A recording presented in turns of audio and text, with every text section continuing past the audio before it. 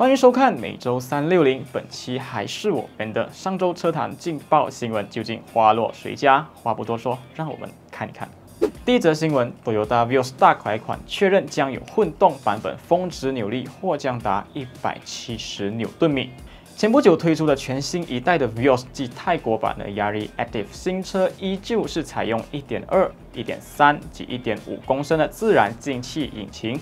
基本上和上一代没有太大的差异，只是在1.5公升的版本中升级到了 DCVT 变速箱，最大马力为104 HP，峰值扭力则是138牛顿米。不过，根据印尼媒体的消息指出，最近于印尼市场举办的上市活动中，当地多油大高层表示，他们将会努力把混合动力版本的 Vios 引进当地市场。这也从某种程度上证实了这款新车或将会加入混合动力版本。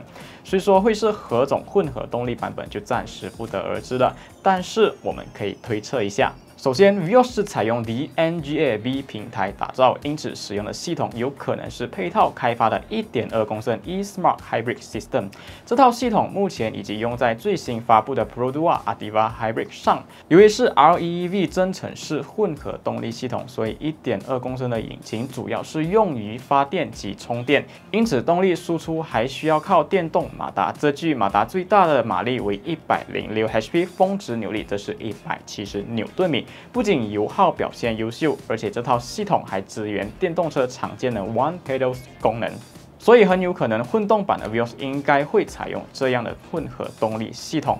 如果不是刚刚所提到的这个 eSmart 混合动力系统，那么就应该只能是与之前的 Prius C 一样的1.5公升的混合动力系统，这也是 Toyota 相当成熟的系统之一。但无论如何，据悉大马版本的 Vios 会在2023年上市，究竟会不会有1.2公升的混合动力版本，又或者是什么惊喜，让我们拭目以待吧。第二则新闻，Mitsubishi XFC 概念车越南登场，预计2023年东盟首发。近日在2022年。年越南车展上，米兹比系展示了一款自家的 XFC 概念车，并表示它将会是全新一代紧凑级 SUV 的雏形。外观上，这款车的设计相当前卫。首先，它有着一个家族式的 Dynamic Shift 水箱护罩设计，同时大灯组的设计看起来异常凶猛，接近鲨鱼头的造型，加上搭配一个类似于越野车一样的护板以及六边形的日行灯，相信这款车应该会主打越野功能。内饰上，它配备了双联屏设计，以一副三辐式的方向盘，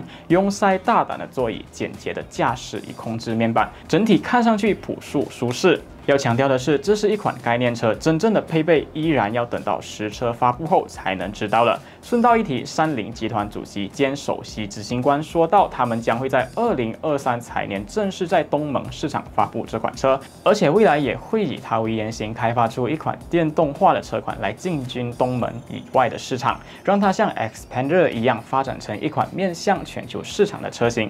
那大家觉得这款概念车怎么样呢？你会期待它的推出吗？欢迎在评论区与我分享哦。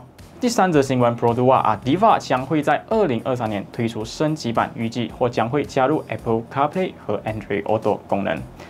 Produa Adiva 作为大马热门车款之一，一直以来都受到不少的青睐。在配备上面，这款车的安全配备也堪称是十万块钱里面最强车款之一，该有的都一应俱全。不过比较可惜的是，时下流行的 Android Auto 以及 Apple CarPlay 依然没有出现在这款车上。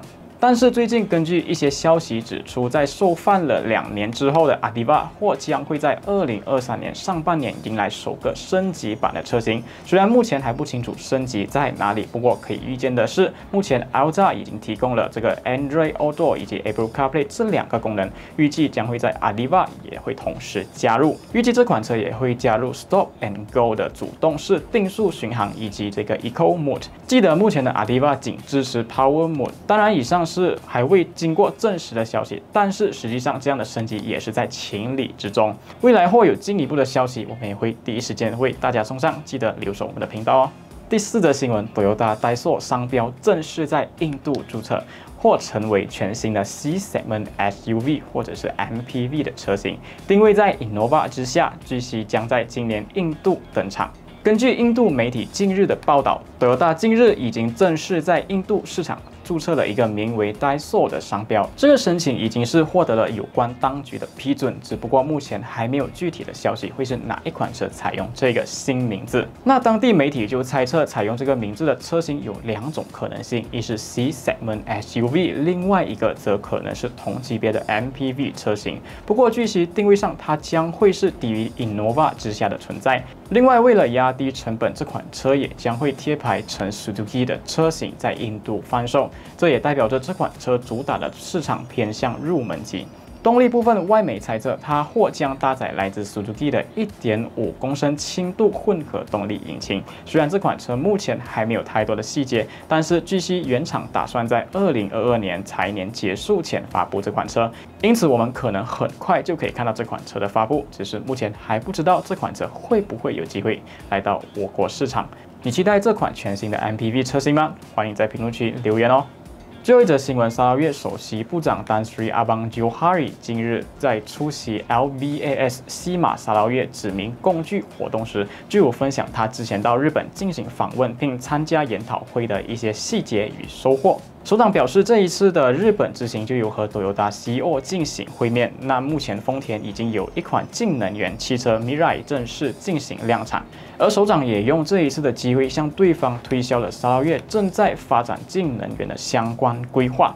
这代表着双方在未来会有进一步的合作机会。首长提到，州政府未来的政策是鼓励和推动净能源等领域，并靠着他们来创造更多的就业机会。这其中就包括了蓬发展的汽车工业。最后，目前 Mirai 是世界上少数量产的净能源汽车。如果丰田未来有意在我国投资生产净能源汽车，那这款车是最有可能来到我国了。那不知道大家会期待这款车的发布吗？欢迎在评论区告诉我。好的，以上就是本期的内容。喜欢我们的视频，记得关注、分享、点赞，并开启小铃铛，及时追踪。此外，非常推荐去关注我们超级好玩也特别的 TikTok 与小红书哦。我们下期再见，拜拜。